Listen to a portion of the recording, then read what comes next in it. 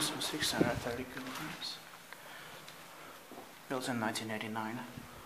H65700. This is nice. It's in Kemi, Finland. Will be inspected in 2019.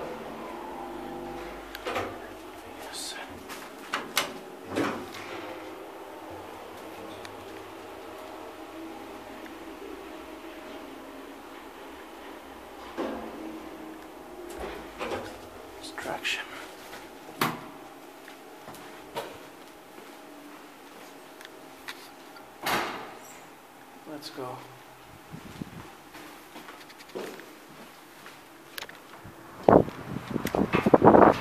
Monikulma. And that's it.